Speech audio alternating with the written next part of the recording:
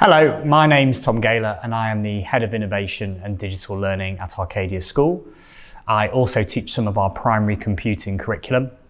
I have been a teacher for over 11 years and I have been at Arcadia since it opened for the last eight years. My teaching philosophy at the moment is trying to prepare our students for the future. So we obviously learn the fundamentals of coding and the basics of coding. But we also start to look at how we can use technology creatively in our learning as well. And we're starting to look at new phenom- phenomenon that are coming through, such as artificial intelligence. We want to make sure every student Arcadia leaves as a great global digital citizen that knows how to use technology safely, respectively, and responsibly.